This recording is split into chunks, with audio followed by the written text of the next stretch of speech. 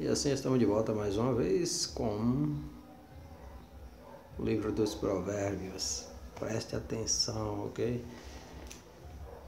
O livro dos Provérbios, os versos, geralmente não precisam muito de uma explicação, não, de destrinchar o versículo, de fazer uma devassa verdadeira nos versículos, ok?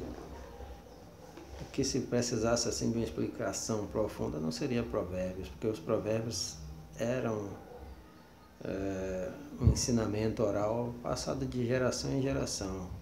Quando se falava algo, as pessoas logo entendiam, certo? Por exemplo, de grão em grão a galinha enche o papo. Ou seja, vá com calma, aos poucos, certo? E logo, logo você terá uma boa quantidade de determinada coisa. Ou logo, logo o seu serviço estará concluído, você fazendo aos poucos, com calma, com tranquilidade, mas sempre com persistência. É como outro que diz, é dos, dos centavos que se fazem os milhões, certo? Então, ou seja, dê valor às pequenas coisas, e comece pequeno, comece com pouco, não queira começar com grandes se você como já com grandes quantidades se você não tem condição. Então, não precisa de grandes explicações, porque senão não teria serventia nenhum, proveito nenhum, porque foram os provérbios que antes das, dos códigos escritos, das leis escritas, que guiaram o povo, que guiaram a humanidade. Certo? Talvez assim os pais ensinavam os filhos mais velhos, ensinavam os mais novos e foi passado de geração em geração. Ok? Então, 27. Não presumas do dia de amanhã, porque não sabes o que produzirá o dia. Ok? Não presuma do dia do amanhã. Não tenha muita preocupação no futuro, se preocupe agora com o presente. Você está vivendo o presente. Então, coloque sua preocupação, seu foco, sua atenção, sua força agora no que está realizando. Certo? É claro que isso não quer dizer que você não é, deve, por exemplo, fazer, ter um projeto de vida, quem sabe até escrito, é, onde você declara, onde você diz ali o que você pretende fazer e você pretende conquistar. Não é isso, mas é a preocupação excessiva com o que virá amanhã, certo? Esquecendo-se do presente, deixando de viver o presente e procurando viver o futuro que ainda não chegou. Então, passo a passo a gente chega lá. Então, foco no presente, foco no agora. Mesmo porque amanhã a gente não sabe se estaremos aqui. Louve-te o estranho e não a tua boca, o estrangeiro e não os teus lábios. Pessoas que gostam muito de se gabar. Se você é bom em alguma coisa, tenha certeza que isto vai chegar aos ouvidos do povo, aos olhos do povo, e as pessoas vão reconhecer que você é bom em determinada coisa, que você tem talento para algo, e essas pessoas irão te louvar. Isso que está dizendo aqui. Não é preciso que você se gabe, se exalte. Pessoas exaltadas. Então Deus condena. Pesada é a pedra e a areia também mas a ira do insensato é mais pesada do que elas ambas. Cruel é o furor e a impetuosa ira, mas quem parará perante a inveja? Um indivíduo invejoso que comete até delitos e crimes movidos pela inveja. O invejoso fica doente pelo sucesso de outra pessoa. Melhor é a repreensão aberta do que o amor encoberto. Repreensão aberta. Pessoas que falam logo o que pensam, certo? E repreende. Então, amigo que é amigo te repreende se você estiver fazendo algo errado, que ele vê que isso vai te prejudicar. E o amor encoberto? O amor tem que ser declarado. Fiéis são as feridas feitas pelo que ama, mas os beijos do que aborrece são enganosos. As feridas do que ama são fiéis. Então, se você anda com alguém, está com alguém, você anda com alguém, se você está com alguém, vive com alguém que nunca te repreendeu, nunca te chamou a atenção, é algo muito estranho, porque todos nós erramos, cometemos erro, cometemos deslize.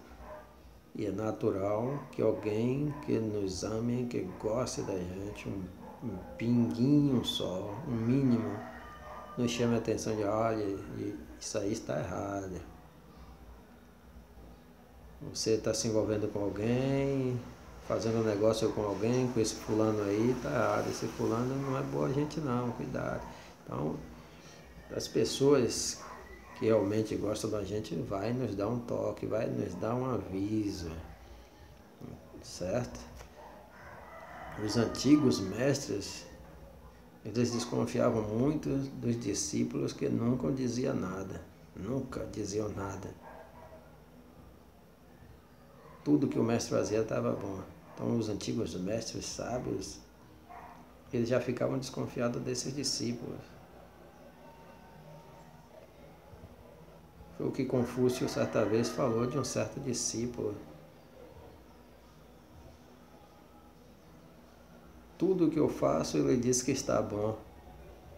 Confúcio falou com indignação.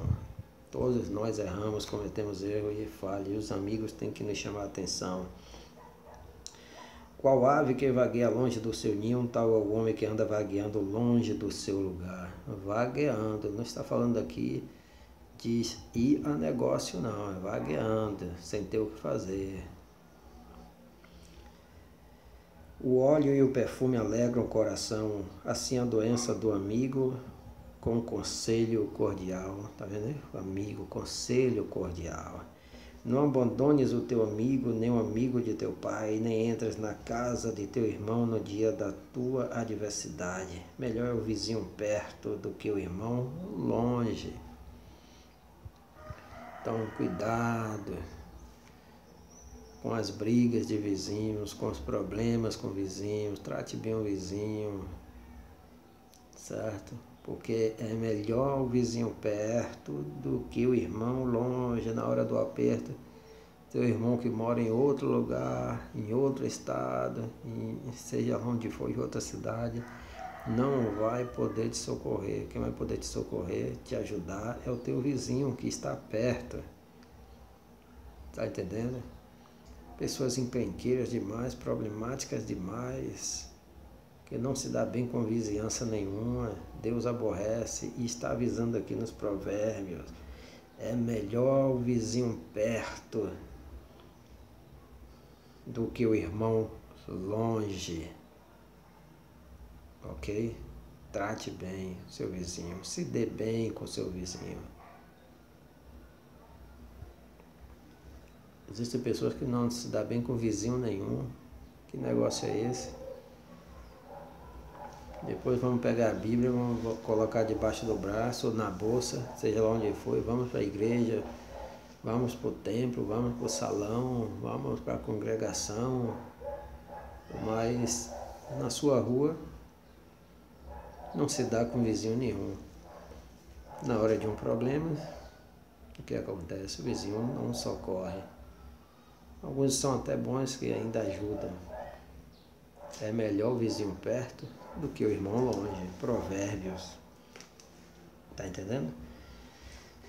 27, 10. Ser sábio, filho meu, alegra o meu coração para que tenha alguma coisa que responder àquele que me desprezar.